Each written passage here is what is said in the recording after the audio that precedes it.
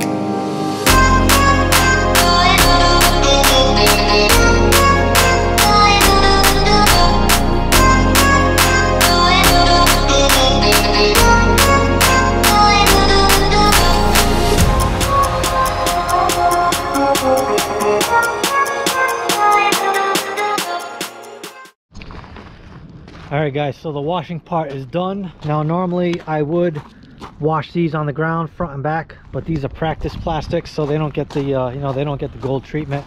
We just rinse them off quick done.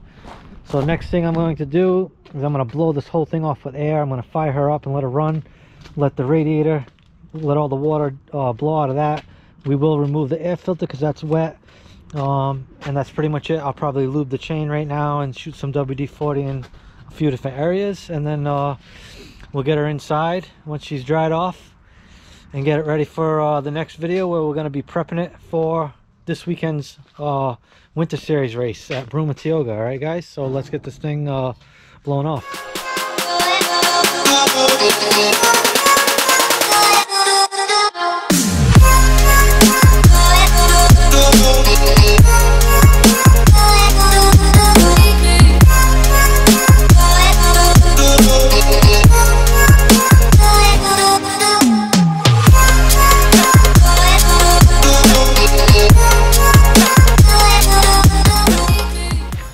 right, guys. So the washing is done. Quad is blown off, pretty dry.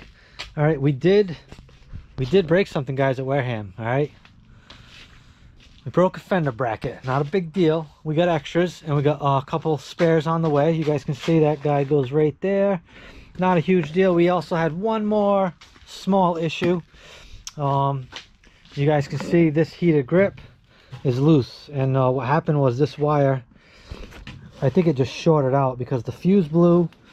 We lost heated grips so we do have a replacement grip coming. We have spare fender brackets so we are all set. So what we're gonna do you guys gonna have to stay tuned. The next video i'm gonna prep this thing to race. Tires gotta go on. We're gonna clean up the plastics throw those on give the girl an oil change fresh air filter and just check over everything. Nuts and bolts grease it stuff like that. So uh, stay tuned for that video guys all right all right guys so alco cleaners is going to hook you guys up go on alcocleaners.com enter promo code on one wheel 7 and receive 20% off your order guys if you spend $99 or more you will receive free shipping and they don't just have the dirt bike and ATV wash but they do carry uh, street bike wash. They got the farm soap. They got bicycle wash. They got the premium silicone detailer, which once my quad's ready to go, I shine it all up with that. Works great, even on the tires, but in the on the plastics. Uh, they got the premium quick detailer for your car, your truck, or your motorcycle. That stuff is great. And then of course they got the laundry powder. If you guys want to get some cool gear, t-shirts, things like that, they sell that stuff as well. So remember, on One Wheel 7, 20% off for a limited time. Check them out. Alco has laundry powder too, guys. You gotta check it out.